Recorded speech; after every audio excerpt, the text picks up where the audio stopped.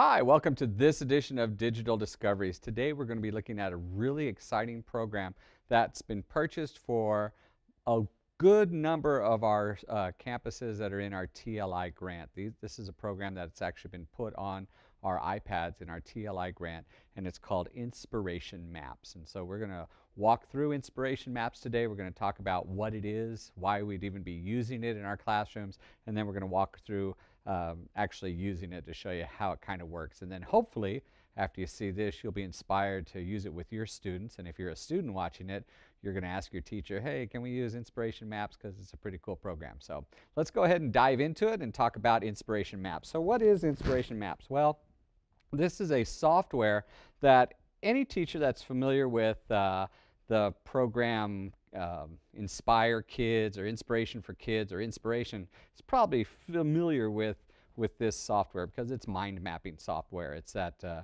visual learning software. And the idea behind visual learning software, or actually visual learning period, is that kids can make connections, or some kids can make connections better if there's a, a some kind of visual attached with the learning that's going on. So instead of just, for instance, telling the kids about the parts of a flower, you actually add a visual and so you actually delve into the parts of the flower. So there's some kind of some kind of picture that goes along with it and so the kids can make those connections. And so that's what visual thinking is all about. It's associating some kind of work with pictures. So this type of software which is uh, this actually is actually made by the people that make inspiration and it's made by the uh, inspira inspiration for kids uh, this is called a graphic organizer. And what a graphic organizer does is it helps students, like it says here, create relationships between concepts. Instead, instead of just taking notes and not making any kind of relationship with those notes, uh, this kind of software actually lets the kids uh, connect the dots, so to speak, but graphically. So there's different ways of doing that. There's a graphic organizer is kind of like a an overall way of looking at it. A lot of our teachers probably are also familiar with uh, graphic organizers that they use for foldables, the Dinah Zike kind of things, those foldables. Those are graphic organizers as well. As well. So if you're using graphic organizers as foldables for your students' um, uh, interactive journals, then you're familiar with graphic organizers. This is just a digital way of doing it. So graphic organizers, there's different kinds of graphic organizers. Some are called concept maps. And what a concept map does, it helps students demonstrate an understanding of a topic. So a concept map is made after you actually learn the lesson. You actually create the concept map. Here's one, and I purposely put this one up because this one's kind of a kind of a complicated one on pathogens. And I did this to show that concept maps and this kind of software isn't relegated just to elementary schools. You can use these at any grade level. So this one is from a high school where they were talking about pathogens, bacteria, viruses, fungal diseases, all different kinds of, of ooey gooey stuff there. So another type of graphic organizer is a mind map. And a mind map is kind of like uh, note taking, but it's note taking with pictures. And this has become very, very popular uh, throughout the throughout the education world, uh, adding pictures while you're taking notes.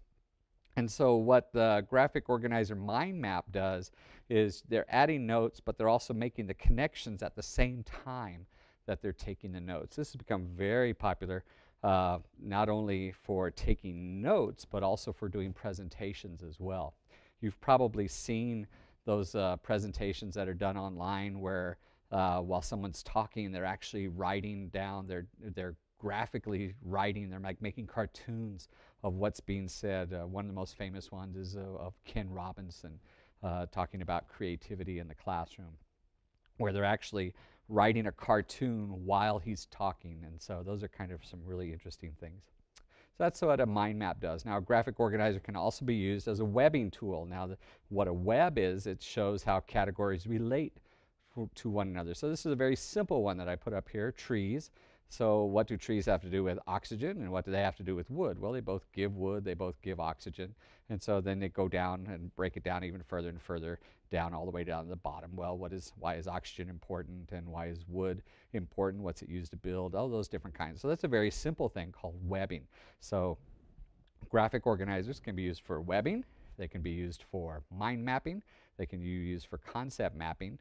And of course, all of these things are kind of uh, used as uh, outlining devices. So we've actually um, we've actually thrown an outline up here because this software will actually create an outline for you as you're creating the mind map. So you can create the mind map, it'll create an outline. You can also go the other way around. You can create the outline and it'll create a mind map for you. So here's what we're going to do.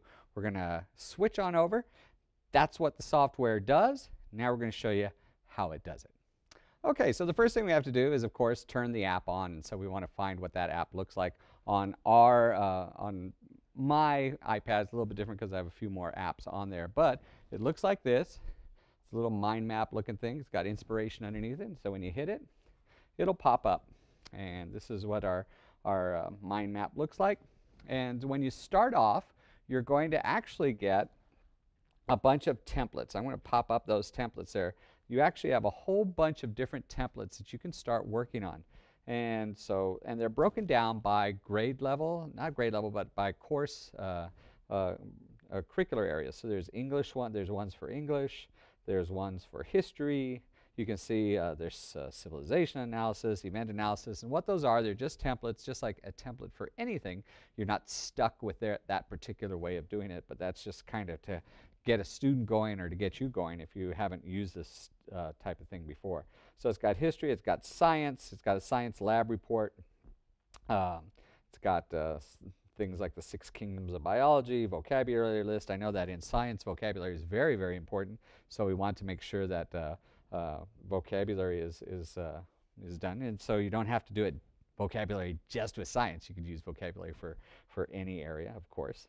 And then there's, at the end, it's just some thinking skills uh, uh, templates that they've put in. So that can be used in any curricular area. So what we're going to do, actually, we're going to scroll back up to the top and we're going to start our own diagram. We're going to start it from very scratch. So if you see in the upper left-hand corner there, it says new diagram. So it's right there, new diagram. So we're going to touch that. And then it asks you, it gives you a little description. When you pop that up, it says, well, what do you want to do? And so we want to use that template. And so we click on use. And so there we go. There's our first template. And you can see there's absolutely nothing there. It's just starting out. And so you have this big blank area. We're going to walk through this whole big blank area. And so since it's an iPad, the way to, uh, to way to change things is to use your finger. You got to use your finger to do things. Now, of course, when we're showing it on the screen, you can't actually see my finger hitting the screen, but you'll get the idea when something changes, it's because I've used my finger to, to change it. So I'm going to change the main idea here.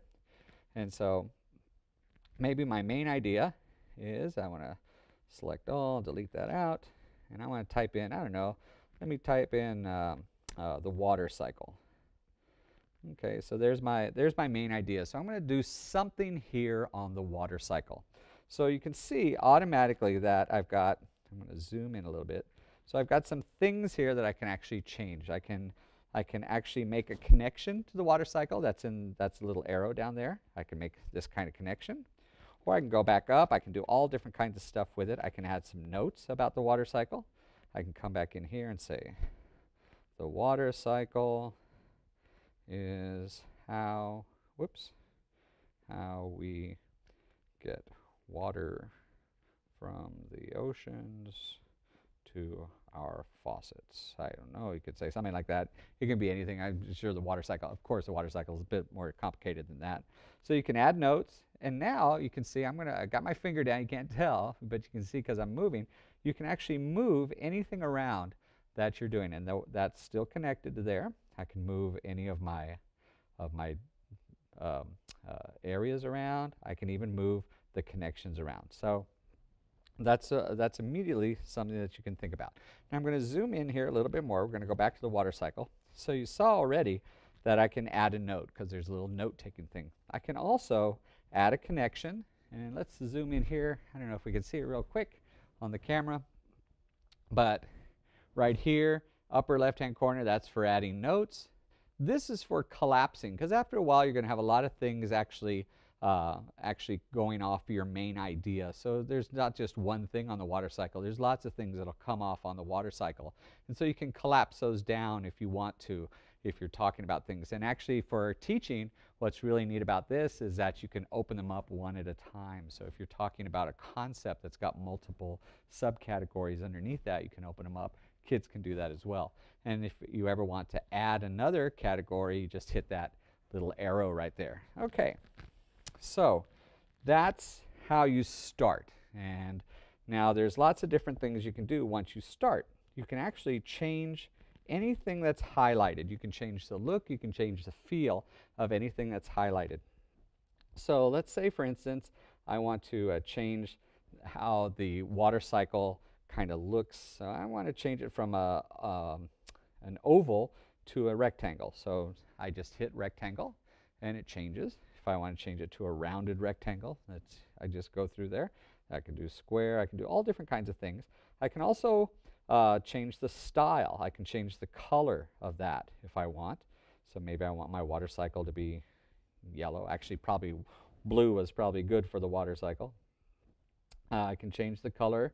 I can change the size of the line. I can actually change the color of the line, make the line a different color if I wish to. I can actually change the, the attribute of the line. I can make the line thicker if I want. So if you're emphasizing a particular thing, you can make that line very, very thick. Uh, I can also change the text, of course. I can change different fonts. I can say I don't want my font to be Helvetica, for instance. Maybe I want it to be Chalkboard or Georgia or something like that. I can change it to be anything I like. And then I have some control over how my diagram looks. I can actually change the way the, the arrows look. I can make them very, very straight arrows. I can kind of make them curved if I want. Uh, I can change the background color of my, of my diagram. I'm just popping around showing you can change the color. And if you want to get really fancy, it's kind of hard to tell on this particular thing. I'm going to zoom in, but you can actually change the texture of the background, which doesn't show up so much on this particular, uh, particular screen. But trust me, if you're looking at it on an iPad, you can actually see that it looks like linen or cloth paper or watercolor paper or something like that. So you can do all different kinds of things like that. So Let's say I want to talk, uh, I want to add some more to my water cycle here. So I'm going to close that down. And I'll say precipitation because I know that's part of the precip, uh, precipitation. And then of course if I misspell it, that'll, that'll show me. And maybe I want to talk about different types of precipitation. Rain, and I want to add another one. Rain, uh, whoops, by the way, if I add something, let's, let's go back there real quick. Say it's rain and I hit the wrong button. Say I hit the note button instead of the, if I want to get rid of that rain, that little note button there, all I have to do is hit the X and it closes it down. It gets rid of it. So that's a great way. So maybe I want to add another thing to precipitation. Um, uh, let's see, there's a snow. Let's see, I come in here, I type in snow. There's different, different things I can do with that. I zoom out. Now, of course, I can also, you can see, I can change where they're at. I can do all different kinds of stuff like that. And now, this is a pretty boring, uh, a, a, pretty boring uh, mind map right now. It's a pretty boring uh, diagram. So maybe I want to add some pictures. So there's different ways to add pictures in this, and it's built into the system. So let's go back and let's say we want to click on rain, and I want to change that from um, just uh, an oval with rain, and I want to say I want to add a picture of rain. So I can actually, uh, if you can see in this uh, thing that I've popped up here, the shape, I can actually use my camera. I can go out and take a picture of rain if it happens to be raining in El Paso. That doesn't happen too often. But I can actually go grab something off the web. And so here in my camera roll, I might have a picture of rain. And so here I go, and now I've clicked on that, and now I've got a picture of rain. I've got a picture of rain. Whoops. Let's move that out so you can see that. So now my rain makes a little bit more sense. It's a little bit more graphical to me. If I've got the water cycle, and I did this ahead of time, I went out and got these pictures. If I want to have a picture of the water cycle, I can go to my camera roll, and maybe here's a pretty good picture of the water cycle. There it is. I can add that. If I want to talk about snow, I think I have a picture of snow. I click on the one that I'm interested in. Again, I go back to my camera roll. I click on my picture of snow. And there's my picture of snow. So there's, there's some very, very simple examples of, of how you can add pictures. I'm going to click out of there to my, um, to my diagram that I'm making. So now let's talk a little bit about how I can add really quick some things to my, to my diagram. So let's talk about rain. Well, let's see. Whoops, I added the wrong picture here. Let me go back and, whoops, sorry about that. Add a picture of rain there. Has a wrong picture. There we go.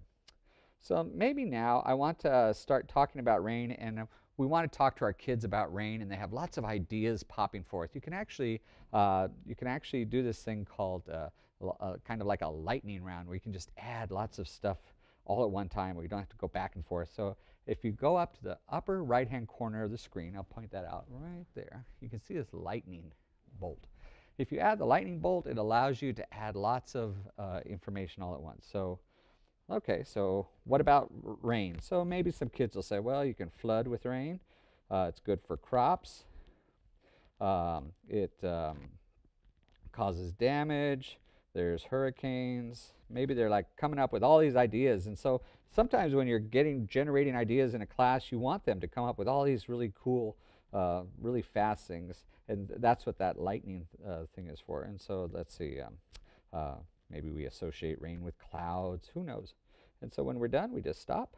And now all of a sudden, you see, I've got all these things that are associated with rain. I can move this around now if I want, and I can do, do, do, rain, clouds, floods, damage. I can straighten them all out, make it a little bit more interesting to me. And now, of course, I could go out and get pictures of crops or damage or hurricanes if the kids are, if we're actually doing that. And maybe I want to add about hurricanes.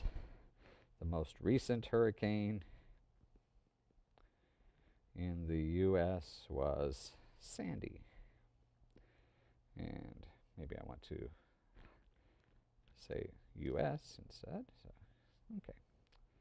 So there's my, there's my little note about hurricanes that I want. Now, you can also rearrange things once they're there. You can actually rearrange uh, diagrams. Now, snow, for instance, maybe I wanted clouds to be under snow instead of clouds to be under rain. I don't know. This is a, a, a weird lesson going on in class. So I can actually highlight the, um, I can actually highlight the link from one, from the main category, from any category. I can highlight that link. And I can actually, once it's highlighted, I can actually move the link. So that little button comes up and now I want it attached to, to clouds, to snow. I didn't want it there. Um, so now I can also, if I go back and highlight it, I can also type in there and I can say comes from. So now I've got, zoom in right there, I can say that snow comes from clouds. Okay, I can, you know, this is maybe a very simple lesson, uh, or maybe our elementary kids are talking about that. And so that's, that's a very, very simple mind map. It's a very, very simple diagram that we've created. But now maybe I want to look at that as an outline. Well, remember we said earlier that the program actually automatically creates an outline for you. So let's go see. If I go up to the upper right hand, upper left hand corner of the screen, up here right there, you can see that I have two symbols. One's a diagram and one is a bunch of lines. Those lines are the outline. So I'm going to click on outline and so now there's my exact same things that I just did, but it shows up in outline form. If I want to uh, change things around, maybe I want to uh, move clouds back to the rain, I can actually grab it and move it back up. Uh, there was rain and clouds, and uh, I can move all these things around if I want. Maybe I want rain to be before, uh, to be after snow, so I can do that, grab it around. And so now I've got an outline. Why is that important? Because now my outline, I can actually export that to other programs like Pages or, or Word or some other program. I can do some word processing. I can actually add to this as well. So let's go ahead and add to this. I'm going to double tap and maybe I want to pop it out, make it a bigger category. What's another? Now I, am going to add fog. Whoops, F-O-G. And fog, uh, fog clouds. I'm just adding that because it's kind of silly sounding. So now I've got fog clouds. I've added some more under precipitation. I've added fog. Um, there's different kinds of precipitation. Maybe I want to add another one here. I double tap it and I said hail. Those are just different kinds of precipitation, I guess. And so now I've added these to my outline. Now what do you think happens to my mind map? Of course what happens is that it's automatically added to my mind map. So if I go back to my mind map and it pops out, now anything that I just added shows up. So look, there's fog clouds, there's that way we just did, and there's hail. So these are all parts of precipitation. So we probably want to clean them up a little bit, but there they are. So now I've got uh, I've got some probably got some pictures of hail or pictures of fog, and I could add those as well. Now, why do we want to use this type of uh, program in our classes? Well, I think a lot of teachers are well aware how mind maps work and how visual learning actually helps a lot of our students. And it's not just elementary. If you go to um, if you go to most schools, you'll see some kind of Venn diagram or some kind of mind map that students have created. It doesn't matter what the grade level is, but I have noticed this. I have noticed that in our campuses at least, this type of uh, this type of thing kind of peters out the higher up you go. The more the closer you get to 12th grade, the less they're using this type of thing. They use them a lot in elementary school, and that's a shame because actually these these types of things. If you're a visual learner in third grade, you're probably a visual learner in sixth grade, and you're probably a visual learner in 11th grade. It doesn't all of a sudden switch off from being a visual learner. So these are the kinds of things that we need to be using all the way through. So how can we save these things? How can we share them? Well, once a student is uh, done on their mind map, you can actually export them in different ways. What we're going to do is we're going to go up to this little thing right here, and you can click and export. It's a little square with an arrow coming out of it, and I wish I could zoom in on it, but I can't. And so once you do that, you click that button, it comes up with several choices that you can, you can send it to iTunes, to Dropbox, send it to a particular app if you want, or you can save it to photos. Let's go ahead and save this in our photos. Because once you save it in photos, it goes all different kinds of places. And it says the image of your diagram has been saved to photos. That's great. Now let's go back to our let's go back to our outline. Now of course this is a very simple, very quick outline that we just made, but the idea is still the same. We can actually come up here and we can actually click on that and share. So now when we share, we can share to different apps like for instance we can save it as a text file or as a PDF file and, and then any app that takes that will, whoops, any app that takes that will also, uh, will also um, be able to import those things. So Pages, Word, Google Docs, any kind of things that'll take a text file or a PDF file, you'll be able to see. So let's go look real quick and see if our picture is actually in our camera roll. So I'm going to pop out here. Let's go look in our camera roll. I'm going to look for photos. There it is. And here's our latest picture, and there it is. That's what was exported. That's the picture that was exported. So kids can import those into anything, a web page. This is a picture, it's a JPEG file. So kids can save that as uh, onto a web page, they can put it into a movie, they can put it into a slideshow, anything like that is, uh, is pretty cool. One last thing I want to show you is, um, I'm going to go back to the program here. Remembered earlier I talked to you about uh, closing things down and showing how things work. So let's see. So if I, if I collapse everything down here from my water cycle, I say, ah, I'm not really interested too much in these things. So I can start popping things out as I'm talking about them. So here I'm talking about the water cycle. So if I click on this first button right up here, and I'm having a conversation with my class, whoops, it's hard to do from the side. Now we can start, okay, now we're going to talk about precipitation. Okay, kids, what are some different ways, what are some types of precipitation? And then as we do that, then we pop it open, there's some more stuff. So kids, when they're presenting in class, they can actually present their lesson from the big idea to the small idea, or vice versa using this. So it's actually a pretty cool presentation tool as well as a, uh, an organizing tool, a graphic organizing tool. So that's Inspiration Maps. That's, our, that's a really interesting program.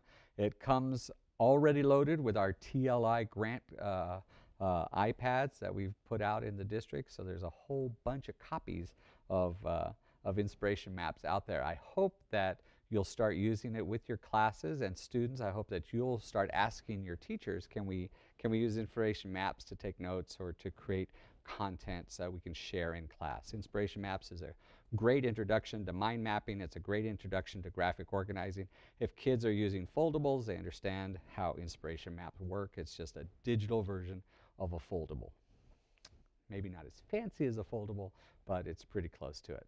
Thank you for joining me for this edition of Digital Discoveries. We'll see you next time. Thanks a lot. Bye-bye.